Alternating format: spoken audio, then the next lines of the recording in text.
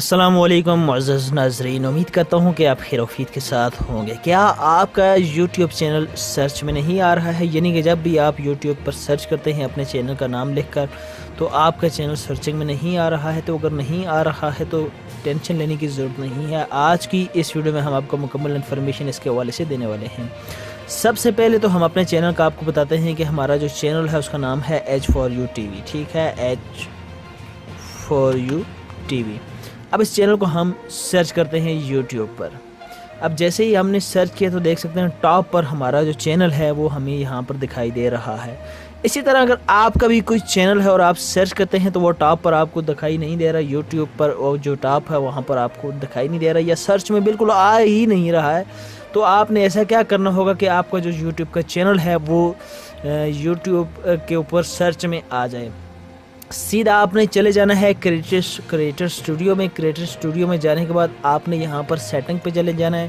Setting میں جب جائیں گے تو یہاں پر آپ نے چینل پر جانا ہے۔ چینل پہ جانے کے بعد یہاں پہ آپ نے دیکھ سکتے ہیں کی ورڈز چینل نیم ہے سامنے اور یہاں پر آپ کو کی ورڈز کا کہا جا رہا ہے۔ تو یہاں پر آپ نے کی ورڈز لکھنے ہیں اپنے چینل کے متعلقہ۔ یعنی کہ میرا جو چینل ہے اس کا نام ہے H four U T V تو یہاں سے میں H four U T V کو کاپی کروں گا اور یہیں پہ پیسٹ یعنی کہ آپ لکھ بھی سکتے ہیں، ضروری نہیں ہے۔ اسی طرح میں ایچ فور یو دوبارہ لکھوں گا، یہاں پر دیکھ سکتے ہیں۔ H four U T V ٹھیک ہے۔ اور اس کو میں اگر سپیس یہاں پہ ڈالوں گا، یہ دیکھ سکتے ہیں۔ یہ کیپیٹل الفاظ میں آ گیا، یہ سمال میں آ گیا۔ ٹھیک ہے، اسی طرح میں اس کو جوڑ کر بھی لکھوں گا ساتھ H four U T V یعنی کہ اگر کوئی میرا چینل اس طرح بھی یوٹیوب پر لکھ کر سرچ کرتا ہے تو اس طرح بھی سرچ میں آئے، ٹھیک ہے؟ اور اس اس کے علاوہ میں اگر کوئی بندہ میرا چینل جو ہے ایچ فور لکھتے ایف او آر اگر لکھے، ٹھیک ہے؟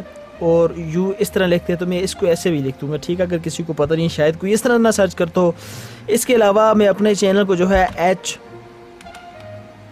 four Y O U بھی لکھ دوں گا تاکہ اگر کوئی میرے چینل کو اس طرح سرچ کرتا ہے تو اس طرح بھی یہ سرچنگ میں آئے۔ اس کے علاوہ میں اس طرح تھوڑی سی اور چینجنگ کروں گا۔ H four Y O U ٹھیک ہے۔ اس طرح بھی لکھ دوں گا تاکہ اگر کوئی اس طرح سرچ کرتا ہے تو یہ اس طرح بھی سرچ میں آ جائے۔